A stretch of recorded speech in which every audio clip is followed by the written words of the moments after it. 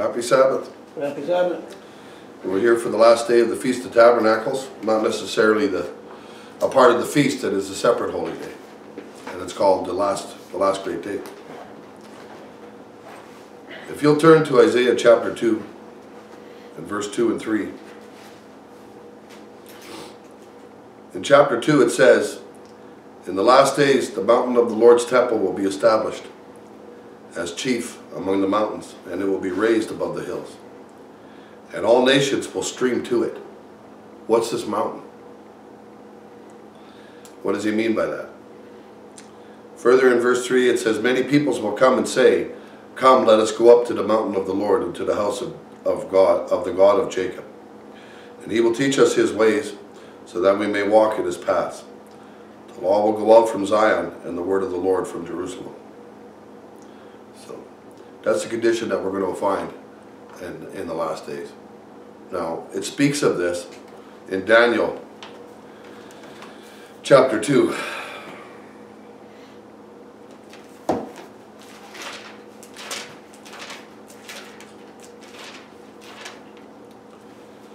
Verse 24.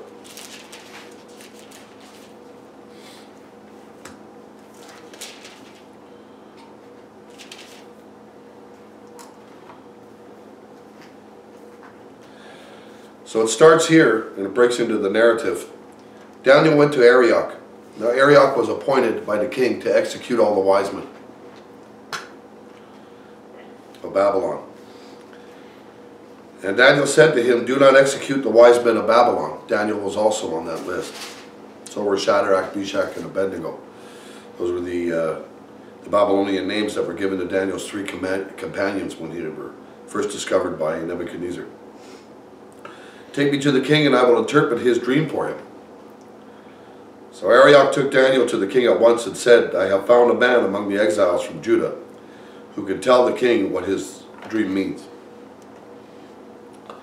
So the king asked Daniel, who was also called Belteshazzar, which was his Babylonian name, Are you able to tell me what I saw in my dream and interpret it? Daniel replied to him, Most in the spirit that comes from the Almighty which doesn't claim anything for the self. And Daniel, in line with that spirit, says, No wise man, enchanter, magician, or diviner can explain to the king the mystery that he has asked about. And again, what we've seen with Stephen, and with Daniel, and with Job, and with all of these men of God, the man got out of the way to reveal the God behind him. And Daniel said, But there is a God in heaven who reveals mysteries. He has shown King Nebuchadnezzar what will happen in days to come. And your dream and the visions that passed through your mind as you lay on your bed are these. Now he went on to tell the king that he was that head of gold. He went on to tell the king that there would be another kingdom after him, inferior in value to his, to that head of gold. And then he went on down to tell him, and we'll pick it up here uh, in verse 36. He said, This was the dream and now we will interpret it to the king in verse 36 of Daniel 2. You, O king, are the king of kings. The God of heaven has given you dominion and power and might and glory. And in your hands he has placed mankind and the beasts of the field and the birds of the air. Wherever they live, he has made you ruler over them.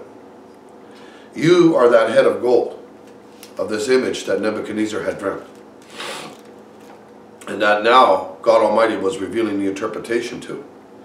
After you, another kingdom will arise inferior to yours, and next a third kingdom, one of bronze, will rule over the whole earth. Finally, there will be a fourth kingdom, and now he goes into more explanation than at any other time about this fourth kingdom. Finally, there will be a fourth kingdom, strong as iron, for iron breaks and smashes everything. And as iron breaks to things to pieces, so it will crush and break all of the others. So it'll be exceedingly different and exceedingly stronger, by far. Just as you saw that the feet and the toes were partly of baked clay and partly of iron on the image, so this will be a divided kingdom. Now we understand through the course of history, because we're lucky to live in the days that we do. Now, we understand the Babylonian kingdom. We understand that what came after the Babylonian kingdom was the Medo-Persian kingdom. We understand what came after That kingdom, in a world ruling sense, was the Greco Macedonian Empire. And then after them came Rome and the Roman Empire, which lasted for a long time and exceedingly stronger than any of the empires that fell before because of its military might and because of its strength. And the chronology of that empire lasted, outlasted any of the others. But now we see something that describes this Romanish system and this Romanish power as being made of iron and clay, the ten toes, on this whole image, this huge image that Nebuchadnezzar had dreamed. So, anyway, finally there will be a fourth kingdom strong as iron, for iron breaks and smashes everything, and as iron breaks to pieces, so it will crush and break all of the others. Just as you saw that the feet and toes were partly of baked clay and partly of iron, so this kingdom, and we believe that's a future event, we know it's a future event, so that this will be a divided kingdom, and yet it will have some of the strength of the iron in it that we had seen before, even as you saw iron mixed with clay. As the tools were partly iron and partly clay in verse 42, so this kingdom will be partly strong and partly brittle, fractious. And just as you saw the iron mixed with the baked clay, so the people will be a mixture and will not remain united, any more than the iron mixes with clay. So we can clearly see now that there is, uh, there is an Achilles heel to this kingdom that has iron in it, but we also could see that it's fractious. We also could see that it has a very short chronological period of time. It will not stay together, just as iron and clay cannot mix together. Now here's my point uh, in addressing Isaiah 2. In the time of those kings, right? Don't forget what Isaiah verse 2 said of chapter 2, right? It always refers to in that day or in the last days. So it gives you the exact time that he's talking about. Here it says it again. In the time of those kings, right? The God of heaven will set up a kingdom that will never be destroyed, nor will it be left to another people. And it will crush all those kingdoms and bring them to an end. But it will itself endure forever. This is the meaning of the vision of the rock that was cut out of the mountain, but not by human hands. A rock that broke the iron, the bronze, the clay, the silver, and the gold to pieces. The great God has shown the king what will take place in the future. The dream is true, and the interpretation is trustworthy. And the king knew that. Because his challenge to these magicians was, you tell me what I dreamt, and then you interpret what I dreamt. And the magicians kept trying to tell him over and over again, tell us what you dream and then we'll interpret it. How could we know what you dreamt? But Nebuchadnezzar wanted an answer. And he wanted an answer that could only be produced supernaturally. He got his answer. God Almighty answered him. And in the course of doing so, told him that this supernatural rock that was cut out of the mountain, that would smash that image, right, and break it to pieces, that that supernatural rock's kingdom would grow into a large mountain that would cover the whole earth. And that that kingdom would have no end. All of these other kingdoms would be, their end would be brought about as a result of this supernatural stone. So, and then Isaiah 12. Like I said, we'll be flipping back and forth quite often through to Isaiah.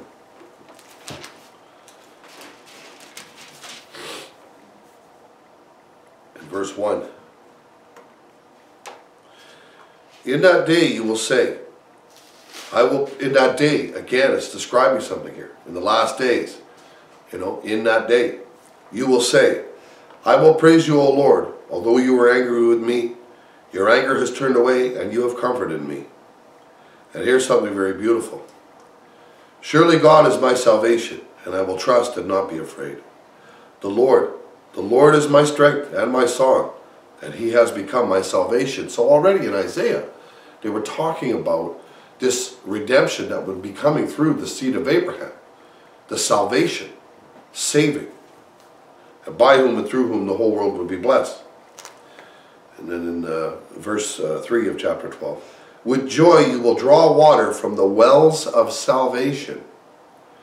In that day you will say, Give thanks to the Lord, call on his name, and make known among the nations what he has done. and proclaim that his name is exalted. Sing to the Lord, for he has done glorious things, and let this be known to all the world. Shout aloud and sing for joy, people of Zion, for great is the Holy One of Israel among you. Wow. Wow. And those very words will be spoken again. Those very words will be said by a multitude of people. And they'll be said at a time when all of this is done. Yeah. Isaiah 55. Speaking of this uh, drawing from the well of salvation, speaking from this very thing. And you'll find that there is a correlation to what I'm reading and to the very sermon that Christ gave on the last great day of the feast that we're going to be reading later on. There's a correlation of that, to that. You wait and see. Now Isaiah 55 verse 1. It says, Come all you who are thirsty, come to the waters, and you who have no money. In other words, you can't buy this. It doesn't matter what you have. Come buy and eat. Come buy wine and milk without money and without any cost to you. Why spend money on what is not bread and your labor on what does not satisfy? So already curiosities are starting to come to the front of our mind and we start wondering, well, what's he talking about? And then he has an admission, uh, uh, uh, admonishing you to listen. And he says it twice. Listen, listen to me and eat what is good. So obviously he's talking about something that we need to consume or that needs to consume us. And your soul will delight in the richest of fare. Give ear and come to me. Hear me, that your soul may live. So he's saying, depending on what you're hearing, and that and that perceiving of what he's saying can save you. It can give you real life. And then he's holding out his hand here with love, and he says, I will make an everlasting covenant with you. My faithful love promised to David in the same way. So in the same way, when we're reading Psalms and we're marveling at the kind of relationship that David had with his God, God is saying right here in the beginning, come all you who are thirsty. Are you thirsty all the time? No. Thirst hits you at certain periods. And that's when you look to be satisfied. And that's what he's basically saying. I will make an everlasting covenant with you, my faithful love, promised to David. See, I have made him a witness to the peoples, a leader and commander of the peoples. Right? Surely you will summon nations, and you will know not that, uh, that you know not, and nations that do not know you will hasten to you. and we're starting to experience experiencing some of that right now in a small way. And who knows where that's going to go? Who knows how that's going to grow? And They're from a distant nation and they don't know us. We don't know them. Surely you will summon nations you know not, and nations that do not know you will hasten to you because of the Lord your God, the Holy One of Israel, for he has endowed you with splendor. For free, just for the asking. And he's pleaded with you to take it from his hand. Seek the Lord while he may be found. Call on him while he is near. And that's a very, very popular scripture that we hear over and over again, but it's taken out of a very magnificent setting. That scripture is taken out of this whole setting here. And that's where that scripture belongs, in this setting. Yeah. Seek the Lord while he may be found and call on him while he is near. Let the wicked forsake his way and the evil man his thoughts.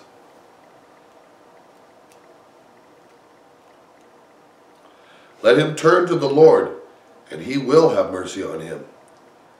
And to our God, for he will freely pardon anybody, as long as you turn to him.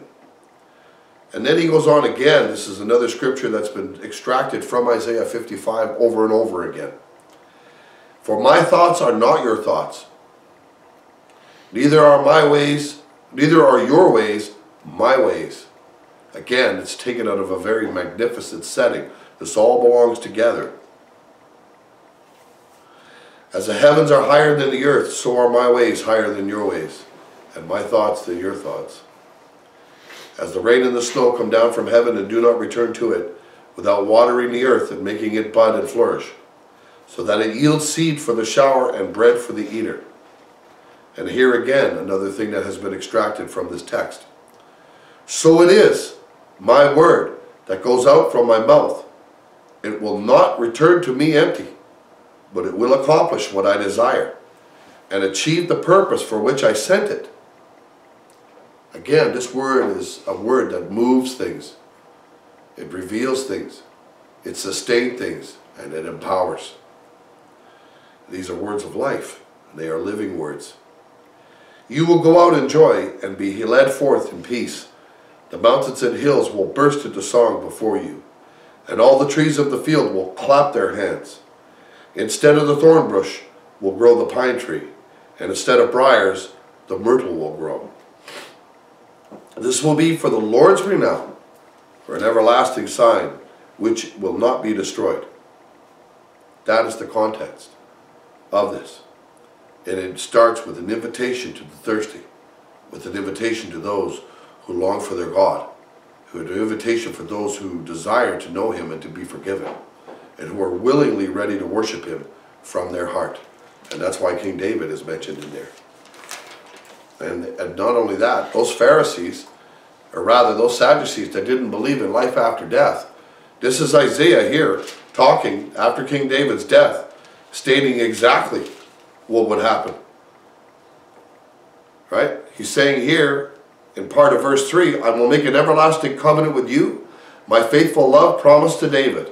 And then it says in verse 4, See, I have made him a witness to the peoples not only a witness to the peoples when he was a physical king, but the words that he left behind that were inspired by the Holy Spirit that was in him, those words are a witness to the peoples. And they edify us, even to this day, because they are living words. I have made him a witness to the peoples, a leader and commander of the peoples. Period. And this was after David's death. He was dead. So the Sadducees should have read that. They would have understand, understood at that point that not only was David using an instrument to preserve words that would bring judgment and that would bring edification, but that his life and whoever he was, his own individual personality type, would be preserved in God for a future date when God would again raise him up. And even David's own words say that when he talks about how he will be quickened and how he will rise and awaken to his reward. And that how God will long to see him again and to hear his songs and his voice and to commune with such a personality who had the heart to pursue him unbiasedly and wholeheartedly. You have the same invitation. And he's inviting you without any cost. And he is putting King David right in the middle of this text, in the same text that he's using to call you forward very gently, telling you that he'll forgive you, and telling you that he'll sustain you forever. This is a big deal. That's very huge. I want to go to John 4. John chapter 4. We have a lot to get through today here.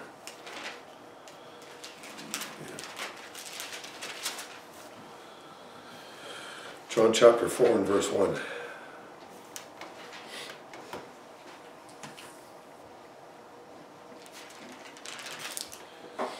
It says, the Pharisees heard that Jesus was gaining and baptizing more disciples than John. Makes you wonder, like, why was he baptizing? But baptizing they were. Although in fact it was not Jesus who was who, uh, who was uh, who baptized, but his disciples. So then the Lord learned of this he left Judea and he went, he went back once more to Galilee.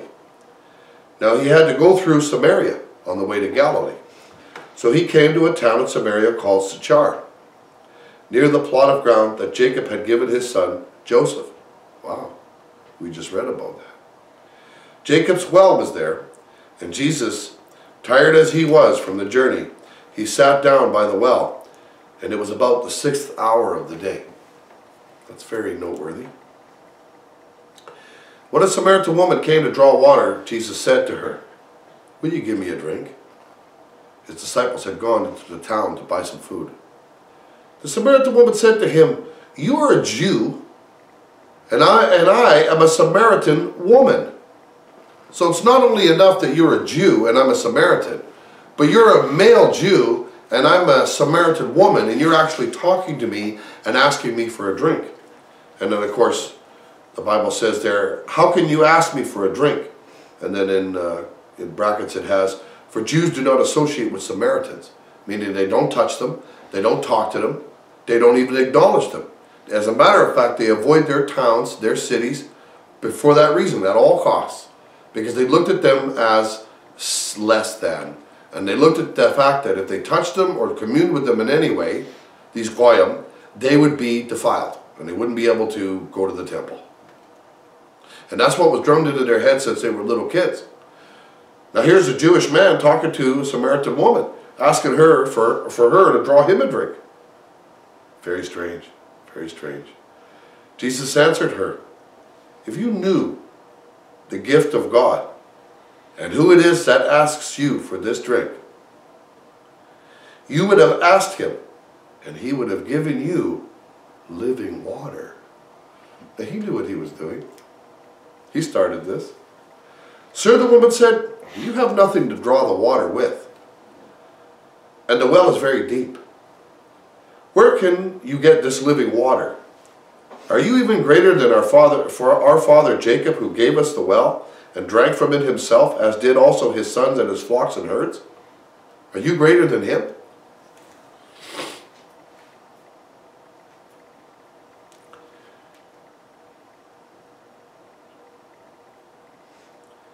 Everyone, Jesus answered, everyone who drinks this water will be thirsty again. But whoever drinks the water that I give him will never thirst. Indeed, the water that I give him will become in him a spring of water, welling up to eternal life.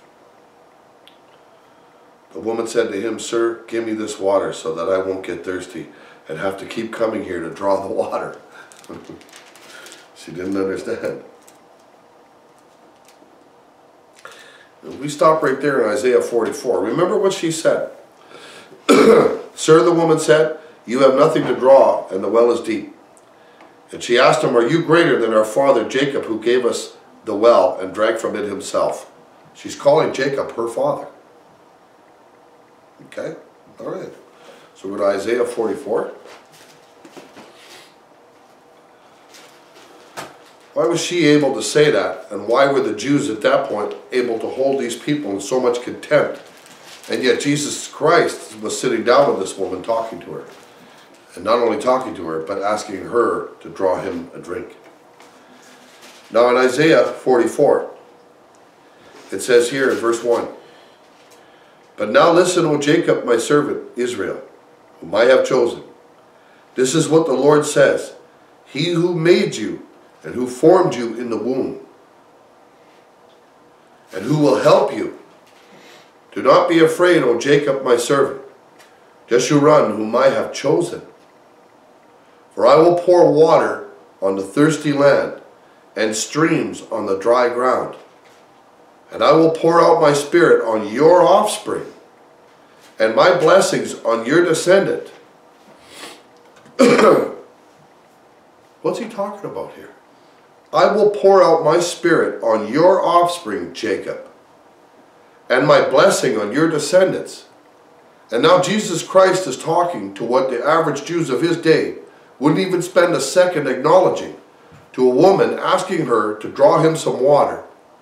And then he tells her that if she knew to whom he, she was speaking, he would give her living waters. This descendant of Jacob. And in verse 4, they will spring up like grass in a meadow, like poplar trees by flowing streams. And one will say, I belong to the Lord. Another will call him by the, himself by the name of Jacob, which he was doing. Are you greater than our forefather Jacob? One will call himself by the name of Jacob, and still another will write on his hand, the Lord's, and will take the name Israel. Don't forget what it says in verse 3 For I will pour water on a thirsty land, a land that's parched. What water is he talking about? And streams of this water on the dry ground. Imagine the first raindrops of the wet season hitting the dry ground and how they congeal and how they run down as if the land was just anticipating and parched for it. I will pour out, pour out my spirit on your offspring and my blessing on your descendants. And now we go back to when he was talking to this woman. And now we read verse 11 when she said to him, uh, sorry, verse 12, Are you greater than our father Jacob who gave us the well and drank from it himself, as did also his sons and his flocks and herds?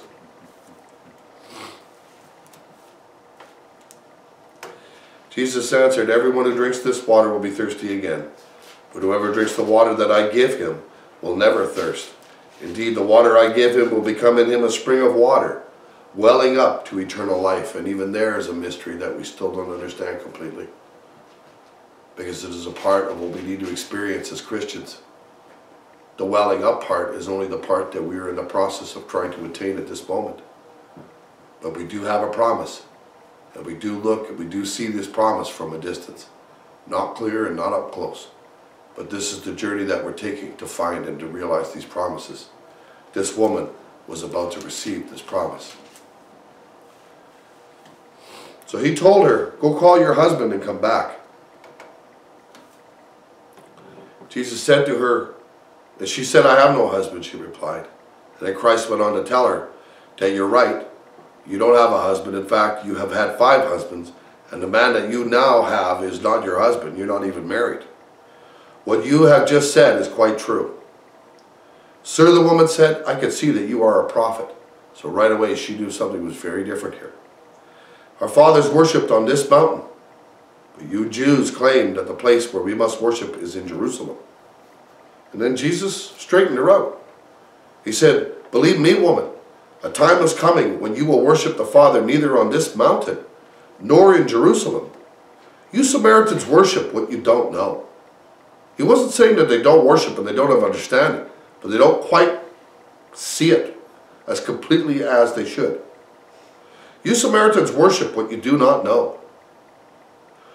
We worship what we do know. For salvation is from the Jews. And yet a time is coming and has now come. He spoke that way a lot. A time is coming and now has and has now come to this duality. Who could say? But he could have used many other phrases and many other ways of speaking this, but he didn't. There was a duality here. Yet a time is coming. And we can read that in these prophecies when it says the last days at that time. and has now come when the true worshippers will worship the Father in spirit and in truth. For they are the kind of worshippers that the Father seeks. God is spirit, and so his worshippers must worship in spirit and truth. And then the woman said, I know that Messiah called Christ is coming. When he comes, he will explain everything to us. And Jesus declared to her, I who speak to you, to you am he. Wow. Wow. And just then his disciples returned, and they were surprised to see him talking with a woman.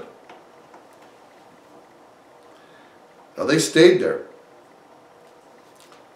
for several days. What were they doing while they were staying there?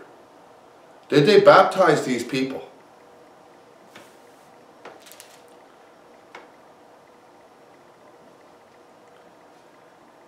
Did that woman receive this living water? Because Jesus' disciples were baptizing, And it was saying in the beginning of this narrative that they were baptizing now more disciples than John in water. Okay, why were they doing that? What was Christ initiating this conversation with this woman? Well, what did it produce? It produced an understanding in her that the very one who was telling her these things, for whatever reasons, that he was telling her to serve a purpose. What came of it? Well, they stayed there for several days. You could see it right here. That they believed. That there was many believers that were added to their number. And that they were encouraged. And that they didn't just believe because of what the woman said. They believed because of what they personally now heard right from Christ's own mouth. and many were added to their number that day. How were they added? They raised their hand and said, okay, pick me up. Yeah, okay, yeah, we got your name here. No. They were added because they chose to be baptized. And when it was time for Christ to send down the Holy Spirit, that Spirit was sent. And on anyone whose heart was right and who was chosen, that Spirit came and it landed. And it came on them and they received living waters. And that spring of living water that was planted in them is supposed to well up in them unto eternal life. As a matter of fact, the Samaritans received the gospel long before his own people did. Jesus Christ tried, and they wouldn't receive it. The Samaritans received it with joy. Imagine that. In John chapter 7, I want to draw your attention here to something. John chapter 7, verse 1. After this, Jesus went around in Galilee, purposefully staying away from Judea because the Jews were waiting to take his life. Can you read that? Do you understand that? After this, what was the after this? Well, after this was when Christ had told them that he was the bread of life that the Father had sent down from heaven, and that this bread was the flesh that gives life to the world, and that they must partake of this flesh, and they will live forever. Christ told them to stop grumbling among themselves, and went on to explain that no one could come to him unless the Father who sent him from heaven draws them, and then he will raise them up on the last day. And Christ knew, just like he knew when he was talking to, to that Samaritan woman, he knew the effect of his words. I'll prove that. You'll see right away here. Let's go to John chapter 6. It's just back here from chapter 7. so we read that after this. Well, what was the after this? Something had changed here. And the result of that changing had caused Christ to hang around in Galilee and to not go into Judea. And it's very clearly expressed that if he went into Judea, they were looking to kill him. They were looking to get him. So, we'll begin in uh, chapter 20, uh, sorry, verse, chapter 6, verse 25. When they found him, this was after uh, Christ had fed the multiple thousands, and he even walked on water. When they found him on the other side of the lake, they asked him, Rabbi, when did you get here? Jesus answered, I tell you the truth. You were looking for me, not because you saw miraculous signs, but because you ate the loaves, and you had your fill. Your belly was full. Do not work for food that spoils. You're going to be hungry in a few hours. But for food that endures to eternal life. So he was taking what was motivating them at this moment and he was reflecting the true cause. The same thing he did with the Samaritan woman. Do not work for food that spoils, but for food that endures to eternal life, which the Son of Man will give you. On him, God the Father has placed his seal of approval. And then they asked him, What must we do? What must we do to do the, to do the works that God requires? Remember we used to hear all the time? We got to get to be doing the work. There's a work to be done. And people would throw their money at doing the work. Throw some money. Let's do the work. They asked him, what must we do to do the works that God requires? Jesus answered, The work of God is this, to believe in the one that he has sent. That's it. Very plain, very simple. If you need a starting point, that's where you start. So they asked him, What miraculous sign? Then will you give me give that we may see it and believe you? Now that's pure satanic motivation from a spirit that had nothing to do with Jesus Christ or the Holy Spirit. In verse 30. So they asked him, after he said this to them, What miraculous sign then will, will you give that we may see it and believe you? What will you do? Right? If you go and you look into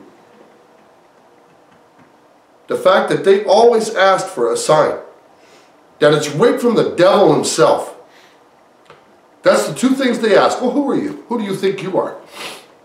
Some kind of prophet? Some kind of messenger? Some kind of guy? Show us a sign. Well, in Matthew 4, verse 3 and verse 6, it talks about Satan tempting Jesus Christ. Don't turn there. I'll turn there quickly because it's important. This is the same spirit. Oh yeah, and that same spirit is alive and well today, causing its division, causing its trouble, always being a provocateur, always wanting proof. Matthew 4, verse 3.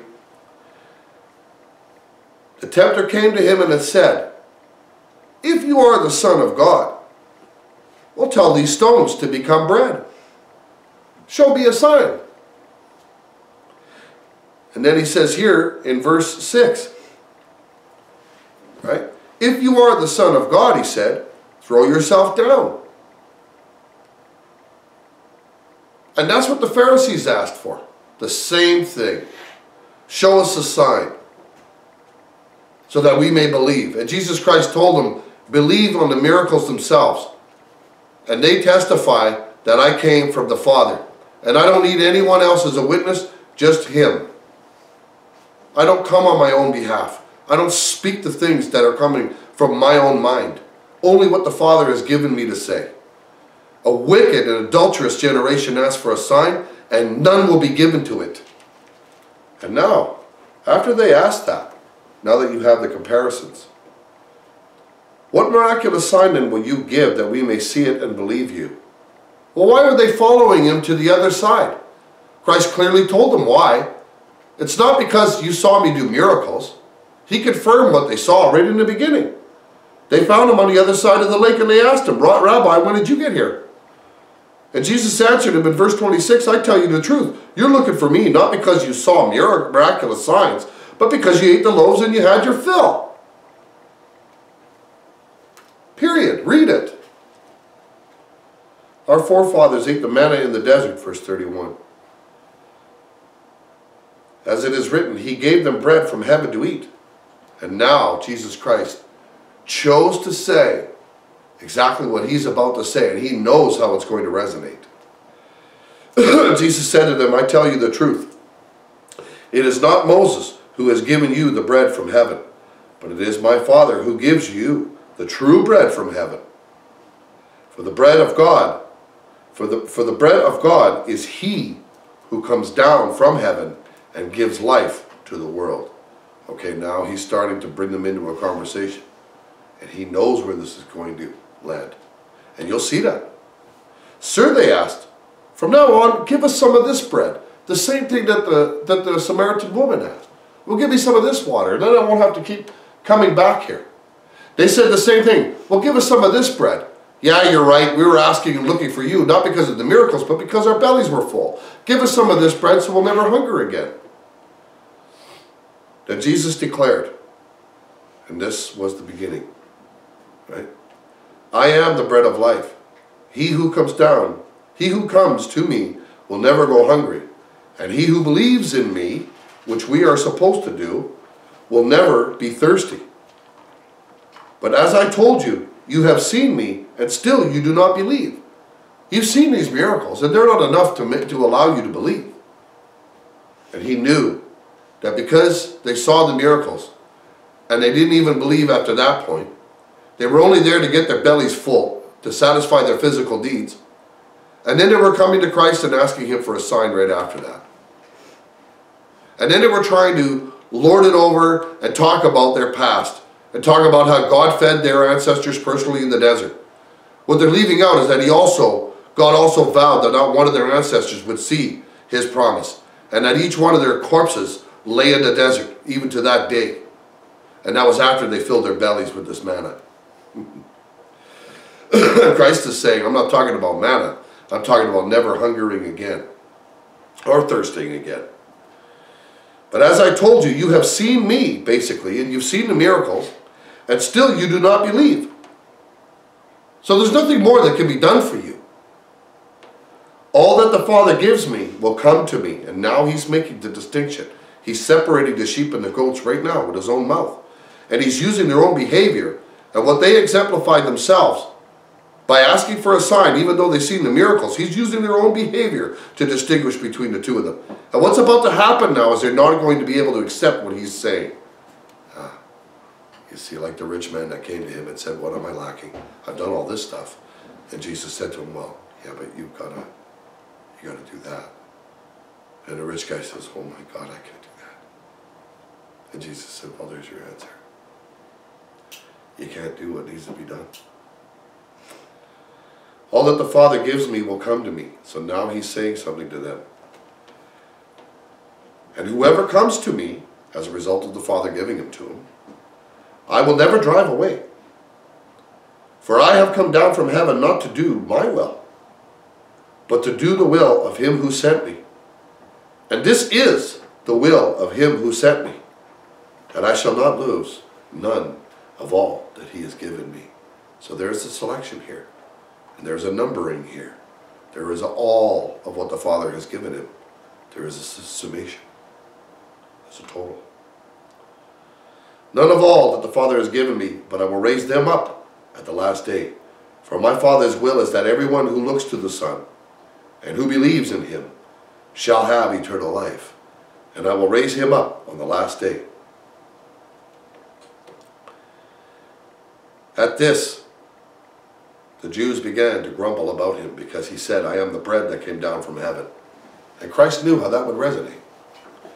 They said, Is this not Jesus, the son of Joseph, whose father and mother we know? How can he now say, I come down from heaven? What's he talking about? And Christ knew how it would resonate. The same way that it resonates today. The same Jews, same attitude, same signs. Stop grumbling among yourselves, Jesus answered. No one can come to me unless the Father who sent me draws him. That's very powerful. And I will raise him up at the last day. Imagine that. That's the second time now he said, and I will raise him up at the last day. What's the last day? What last day? Think about it. It is written in the prophets that they will all be taught by God. Everyone who listens to the Father and learns from him comes to me. No one has seen the Father except the one who is from God. Only he has seen the Father. I tell you the truth, he who believes has everlasting life. I am the bread of life. Your forefathers ate the manna in the desert, and yet they died, just like I said. God Almighty said, not one of them will enter into my promise because they have spurned me and they have spat on my face. And every one of their corpses will lie in the desert. But here, in verse 50, is the bread that comes down from heaven, which a man may eat and not die. I am the living bread that came down from heaven. If anyone eats of this bread, he will live forever. This bread is my flesh, which I will give for the life of the world. Now that was a bombshell. He just dropped a bombshell on them. Then the Jews began to argue sharply among themselves. How can this man give us his flesh to eat?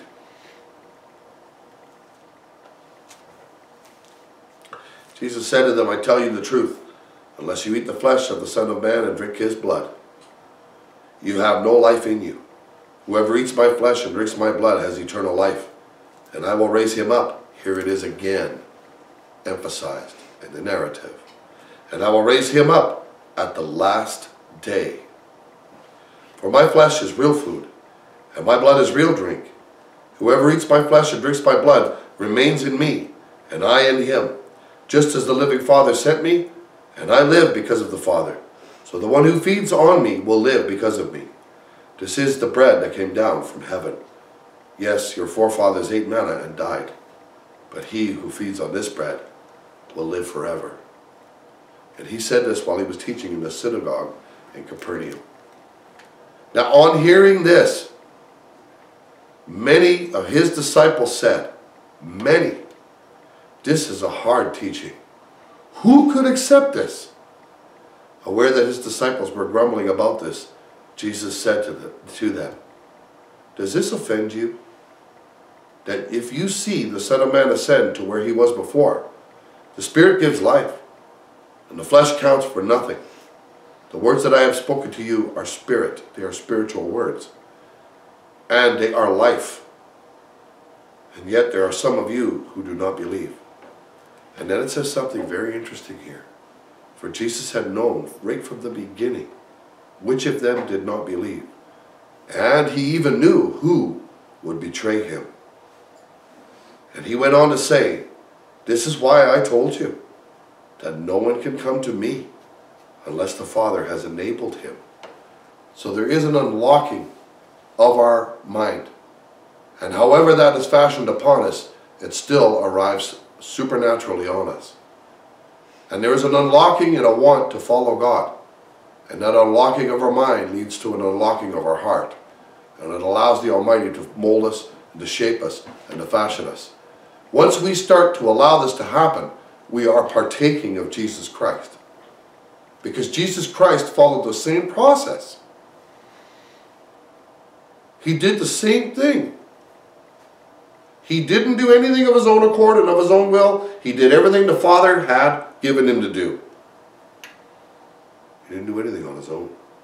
And we are told the same thing. And you could read it with the disciples, how they relinquished their own individuality when it came to where their feet were planted, and what message that they were bringing, and the things that they suffered, and the things that they had to leave behind.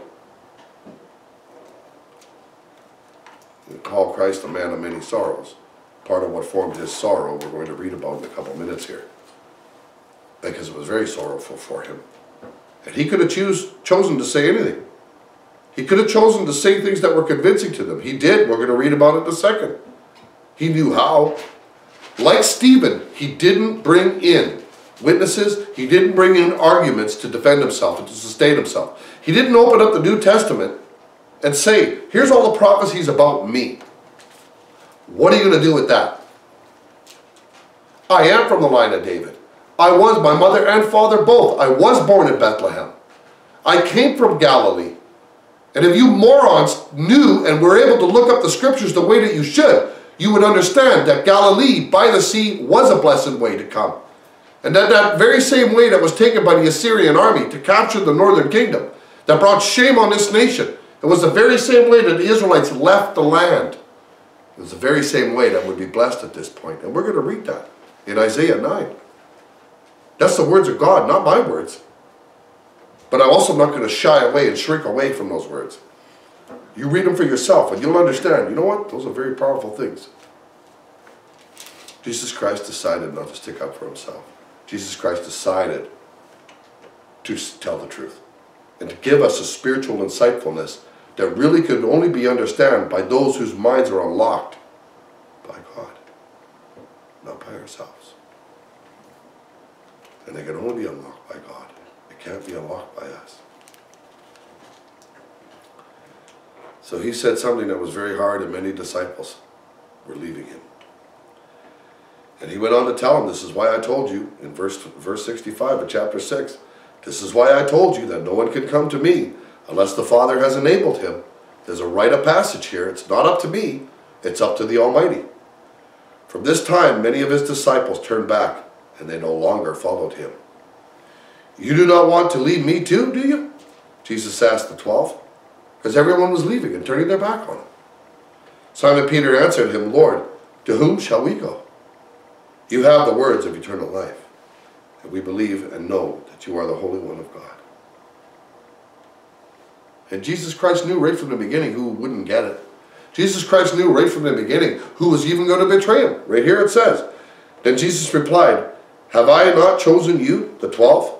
And yet one of you is a devil.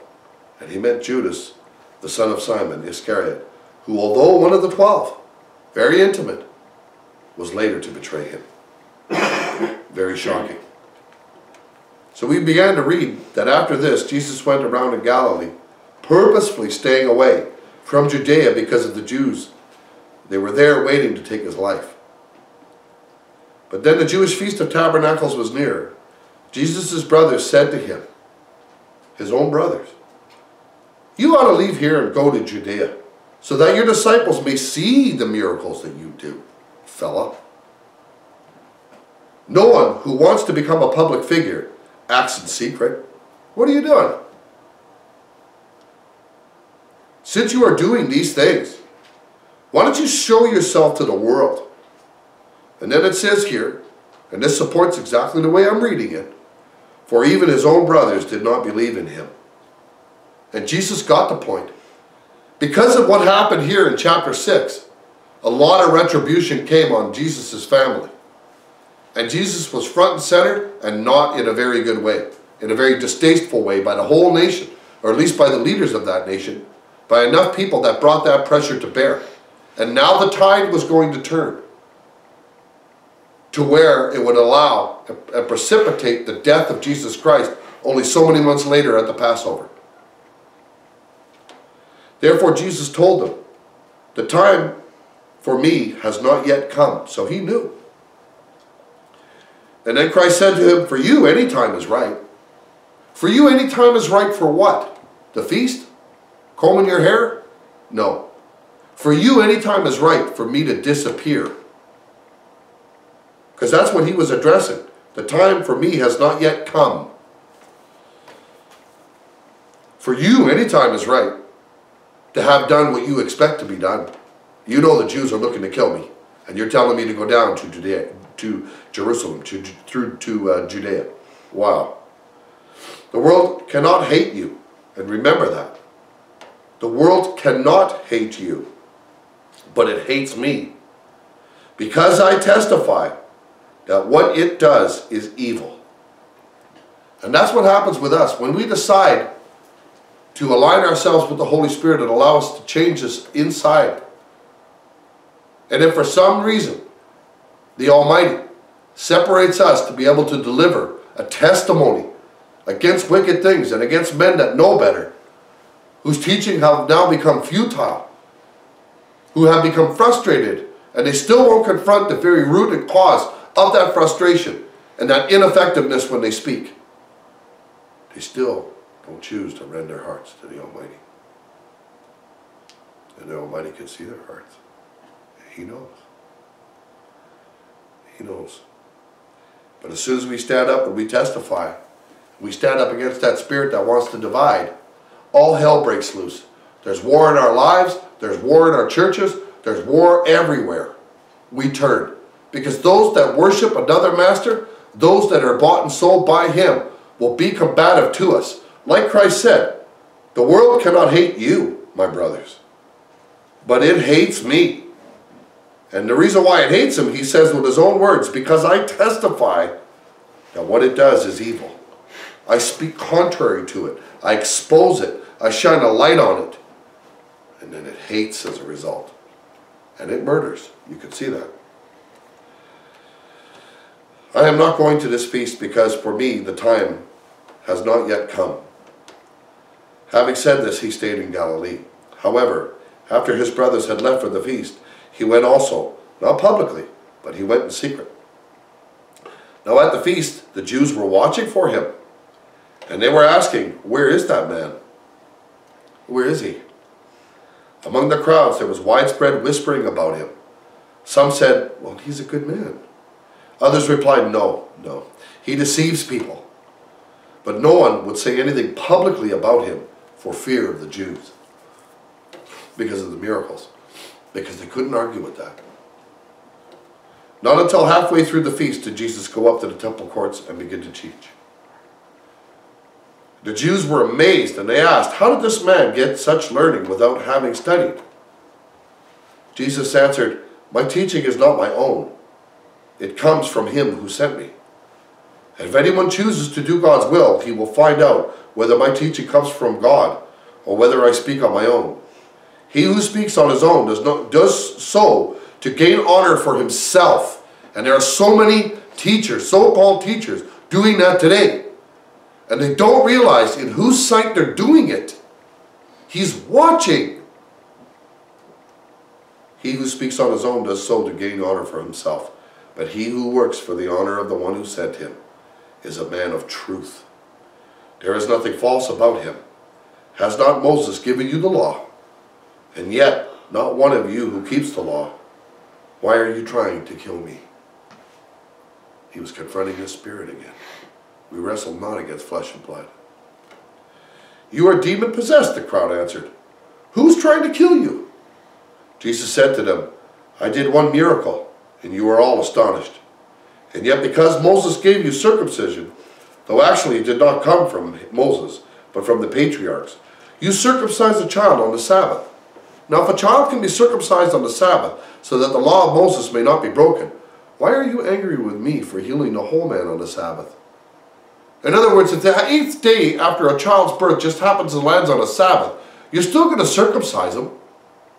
So if they lower a paralytic to me, and he's gagging, and he's in trouble, and he's in pain, and I see him in pain, and my heart is moved to heal him on the Sabbath day, you tell me that's wrong. If a child can be circumcised on the Sabbath, so that the law of Moses may not be broken, why are you angry with me for healing the whole man on the Sabbath? Stop judging by mere appearances and make a right judgment. At that point, some of the people of Jerusalem began to ask, Isn't this the man that they're trying to kill? so they knew. They just finished asking him, Are you demon possessed? Who's trying to kill you? What the heck are you talking about? And now they're saying, at that point, some of the people of Jerusalem began to ask, Isn't this the man that they're trying to kill? Here he is, speaking publicly. And they are not saying a word to him. Have the authorities really concluded that he is the Christ? And that was the other part of the pressure that not a lot of people know, is that the authorities had to make a decision. Because there was so much controversy. Some were saying he's deceitful. He's deceiving the people. Some are saying, no, he's a prophet. Nobody can do the things he did does without the hand of God upon him.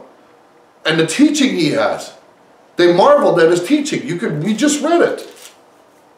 And that's when he used that introduction to get out of the way and to reveal the Father. He said, I'm not teaching what I want. I'm doing what I'm instructed by the Father. At that point, they began to say things. But we know where this man is from. Again, they wouldn't believe. When the Christ comes, no one will know where he's from. They, they're just talking rudely and ignorantly, and they still do to this day. They don't know what the scriptures say. The scriptures clearly point to how the Christ will come. So they don't know their own scriptures. They're saying, well, nobody will know where he's from or who, where he comes from or anything. That, what a load of baloney. You'll see it a couple times here. Even their teachers were full of crap. They didn't know. They should have known. At that point, some of the people of Jerusalem began to ask these questions.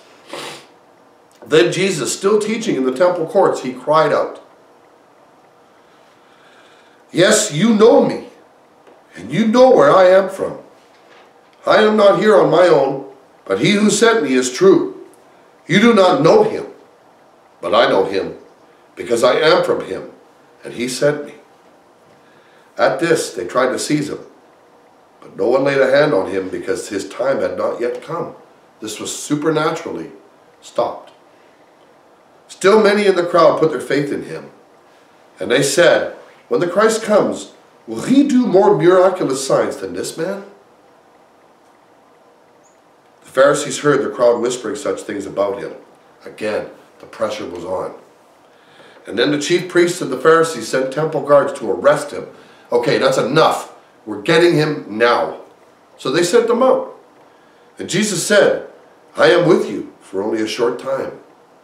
And then I will go to the one who sent me. You will look for me, but you will not find me. And where I am, you cannot come. The Jews said to one another, Where does this man intend to go? That he cannot find people, that he cannot find him. Will he go where our people live scattered among the Greeks and teach the Greeks? What did he mean when he said, You will look for me, but you will not find me? And where I am, you cannot come. In verse 37, on the last and greatest day of the feast, which is where we find ourselves,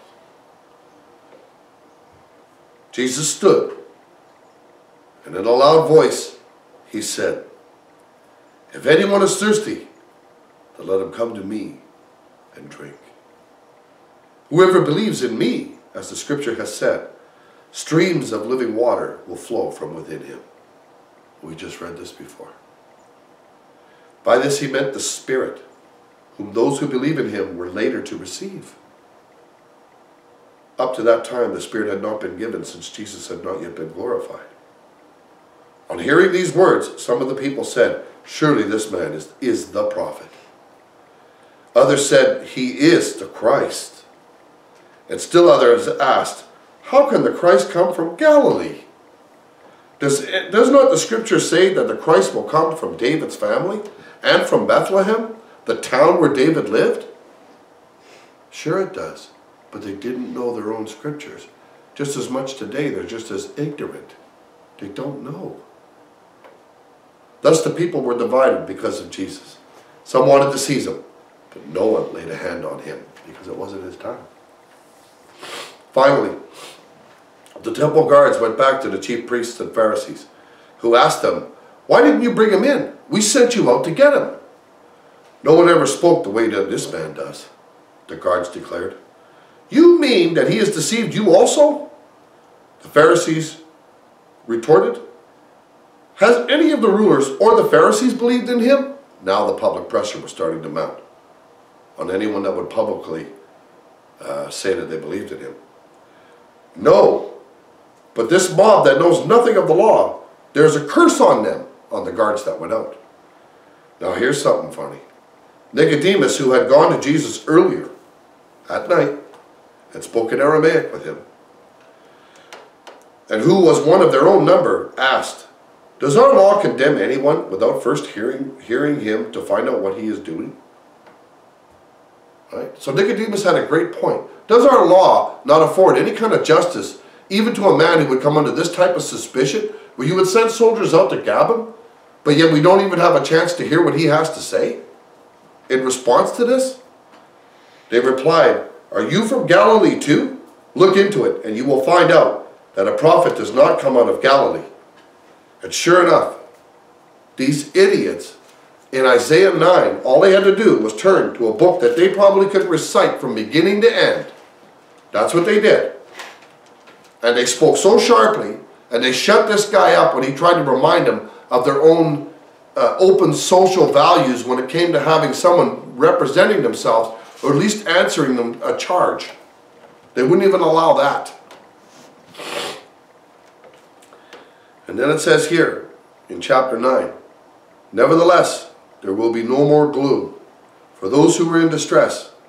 In the past, he humbled the land of Zebulun and the land of Naphtali.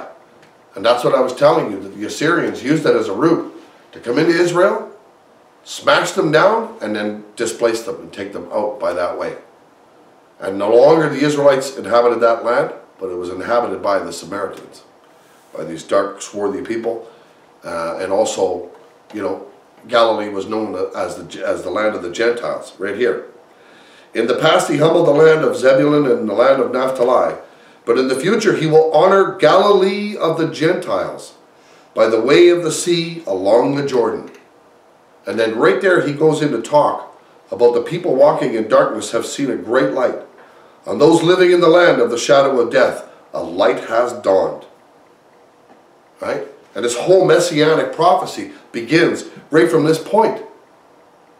That he would honor Galilee of the Gentiles. And yet these learned men who are supposed to know these scriptures, especially these messianic scriptures, are saying there's, uh, you'll find out that a prophet does not come out of Galilee.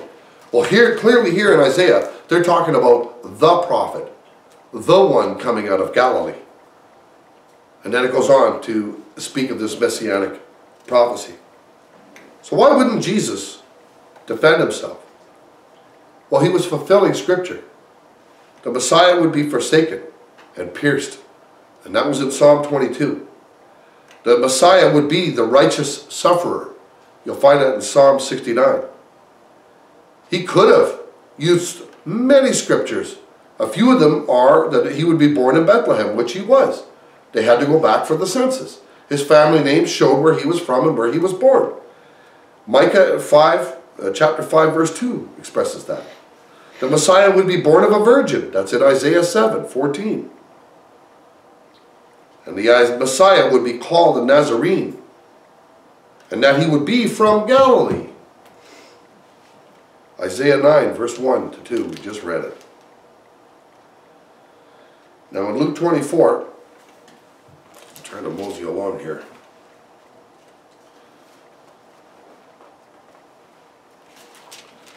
Luke 24.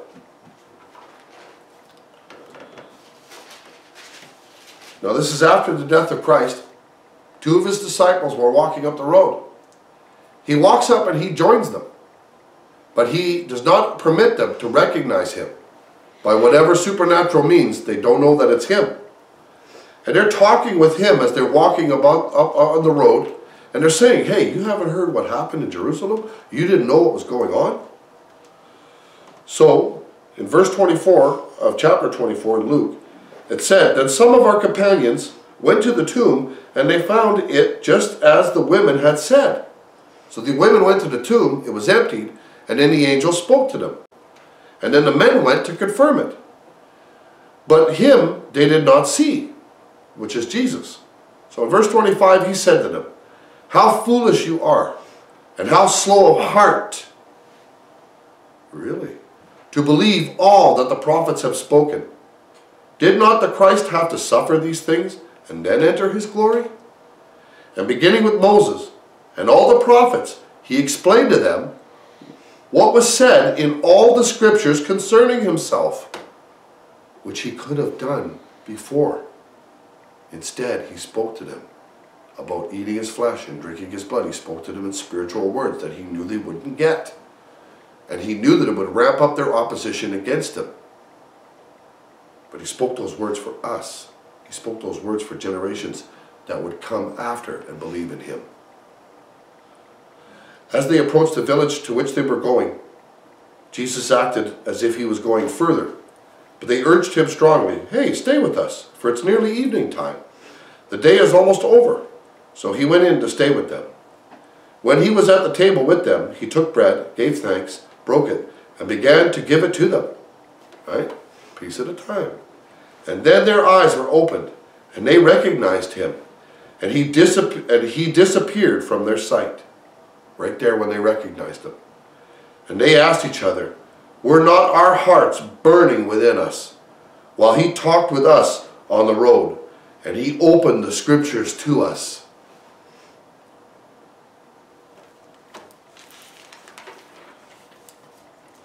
I had a lot more to go through, but obviously I have run out of time. But I will close with Daniel 4. I will close with the words of a Gentile king. He wasn't even the king of Israel. He was the one who took Judah captive, and he was the one who completely destroyed Jerusalem. And this is his words. This is his testimony in Daniel 4. Daniel 4,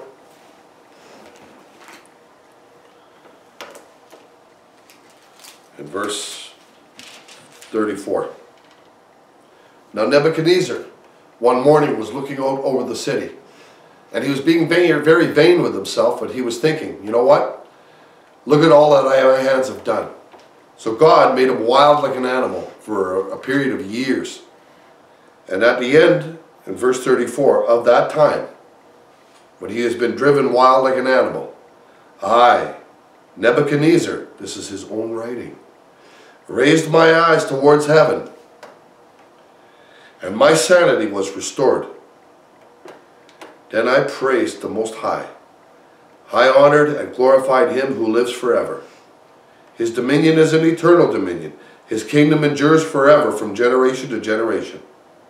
All the peoples of the earth are regarded as nothing. He does as he pleases with the powers of heaven and with the peoples of the earth. No one can hold back his hand or say to him, What have you done?